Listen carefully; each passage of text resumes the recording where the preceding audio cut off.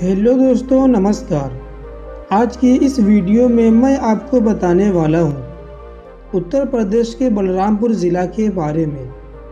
और आज की इस वीडियो में मैं आपको बलरामपुर की सारी जानकारी बताने वाला हूँ। तो बने रहिए इस वीडियो में लास्ट तक और वीडियो को पूरा ज़रूर देखिएगा। बलरामपुर बलरामपुर उत्तर प्रदेश जैसे विशाल राज्य का एक ऐतिहासिक और प्रमुख ज़िला है। यह ज़िला देवी पाटन मंडल के अंतर्गत आता है और इसका मुख्यालय बलरामपुर में ही स्थित है, जो प्रदेश उत्तर प्रदेश की राजधानी लखनऊ से 160 किलोमीटर और देश की राजधानी नई दिल्ली से 700 किलोमीटर की दूरी पर स्थित है। और यह ज़िला बस्ती, गोंडा, सिद्धार्थनगर और सरस्वती ज़िला के साथ साथ नेपाल देश की सीमा को टच करता है। दोस्तों, अगर आप कभी उत्तर प्रदेश में घूमने का मन बनाते हैं तो नंबर वन पर आपका बलरामपुर ज़िला होना चाहिए। क्योंकि दोस्तों, यह ज़िला अपने इतिहास के लिए काफ़ी प्रसिद्ध है और यह अपने अतीत की कहानियाँ कहते हुए आज भी प्रतीत होता है। और यहीं पर स्थित है बलरामपुर के सबसे प्रसिद्ध माँ देवी पाटन मंदिर, जो पौराणिक कथाओं के अनुसार देवी दुर्गा दुर्गा की इक्यावन शक्ति पीठों में से एक है। तो दोस्तों, इस वीडियो को शुरू करते हैं, लेकिन इससे पहले आप इस वीडियो को लाइक कर दीजिए और चैनल को सब्सक्राइब कर दीजिए। क्योंकि दोस्तों, इस वीडियो में हमने बलरामपुर ज़िला के बारे में एक ऐसी रोचक जानकारियाँ दी है, जो आपको कभी ना कभी जानने की आवश्यकता ज़रूर पड़ेगी। तो कर दीजिए भाई लाइक और सब्सक्राइब और वीडियो का एंजॉय करें। सबसे पहले हम बात करते हैं बलरामपुर के क्षेत्रफल के बारे में। यह ज़िला कुल चौंतीस वर्ग किलोमीटर के क्षेत्रफल में फैला हुआ है और इस ज़िले की कुल जनसंख्या 2011 की जनगणना के अनुसार इक्कीस लाख अड़तालीस हज़ार के ऊपर थी। ज़िले का लिंगानुपात प्रति एक हज़ार पुरुषों पर 928 महिलाएँ हैं।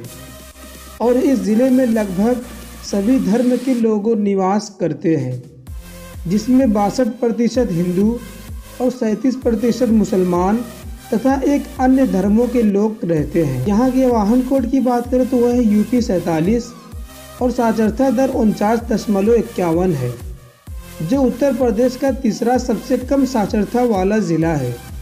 इसमें पुरुष साक्षरता 60 प्रतिशत और महिला साक्षरता 38 है। अभी हम बात करते हैं बलरामपुर ज़िले के कारोबार, रहन सहन और उद्योग के बारे में। दोस्तों, यह ज़िला कृषि प्रधान क्षेत्र है और इस ज़िले में खेती का काम किया जाता है।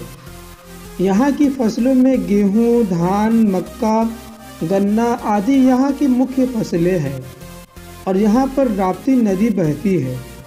जो कि इन फ़सलों में नदियों का बहुत बड़ा योगदान होता है। और इस ज़िले के उद्योगों की बात करें तो इस ज़िले में कोई छोटी बड़ी चीनी मिलें हैं। जो भारत के सबसे बड़ी चीनी मिलों में से एक है।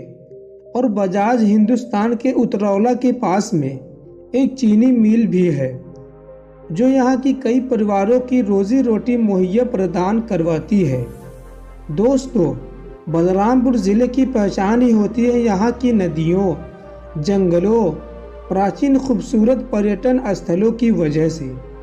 अभी एक नज़र डालते हैं बलरामपुर ज़िले के इतिहास पर। यह ज़िला गोंडा सिद्धार्थ नगर सरस्वती जिला के भागों को एक करके 25 मई उन्नीस सौ सतानवे को यह एक ज़िले के रूप में गठन किया गया और पौराणिक कथाओं के अनुसार यह ज़िला पहले कौशल राज्य की राजधानी हुआ करती थी। सदियों से अपनी परंपरा और कला को समझौता आ रहा है बलरामपुर। आज देश तथा विदेश की पर्यटकों को मुख्य आकर्षण केंद्र बन चुका है, जहाँ के हर साल लाखों पर्यटक यहाँ के माँ देवी पाटन मंदिर Suhel Dev wild life sanctuary Koilabas Bijlipur मंदिर जैसे कई प्राचीन और खूबसूरत पर्यटन स्थलों को देखने के लिए आते रहते हैं। अभी हम बात करते हैं बलरामपुर ज़िले के पर्यटन स्थलों के बारे में। नंबर वन माँ देवी पाटन मंदिर। दोस्तों, यह मंदिर ज़िला मुख्यालय के लगभग 27 किलोमीटर के दूरी पर बलरामपुर का सबसे प्रसिद्ध मंदिर है, जिसे देवी पाटन मंदिर के नाम से जाना जाता है और पौराणिक कथाओं से कहा जाता है कि यह मंदिर इक्यावन शक्तिपीठों में से एक है।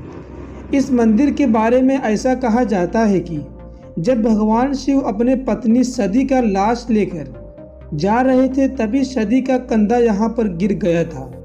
फिर बाद में यहाँ पर एक मंदिर बनाया गया, जहाँ पर भारत से ही नहीं बल्कि नेपाल से भी श्रद्धालु माँ देवी पाटन मंदिर के दर्शन करने के लिए आते हैं। और यहाँ पर हमेशा भक्तों की भीड़ उमड़ी रहती है। दोस्तों, अगर आप बलरामपुर से हैं या इस मंदिर में गए हैं तो एक बार कमेंट में हमें ज़रूर बताएँ। दोस्तों, ये थी बलरामपुर ज़िले के बारे में एक छोटी सी जानकारी। अगर वीडियो को अच्छा लगा हो तो वीडियो को लाइक करें और ऐसे ही भरे नॉलेज वीडियो देखने के लिए हमारे चैनल को सब्सक्राइब करें। और यह वीडियो आपको कैसा लगा कमेंट में ज़रूर बताएँ।